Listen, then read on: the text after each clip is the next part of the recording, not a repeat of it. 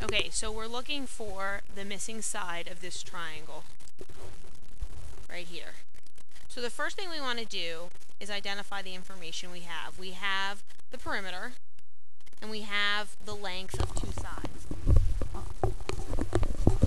So the first thing we want to do is add together the sides we know. So we're going to say 5 t squared minus 6 plus 4t squared minus 7t plus 3. And we're going to combine our like terms. So we're going to have 9t squared minus 7t minus 3. And that represents the length of these two sides.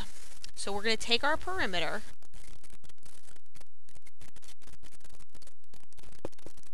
and we're going to subtract the two sides we know, or the sum of those two sides.